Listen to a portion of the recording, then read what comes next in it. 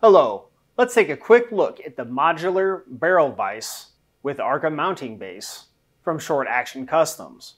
This kit is made from a 7075 aluminum with a black anodized finish and includes both the barrel vise along with a ARCA rail base which can be installed onto your bench or any other surface. The barrel vise or clamp here does have an ARCA rail at the bottom which can be used on the base here to secure it in position.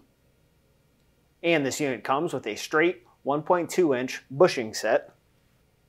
The vise provides excellent gripping strength on the barrel with properly sized bushings with little to no markings on the barrel. The vise features a 1 torque bolt for fast lockup and can be easily loosened to release your rifle.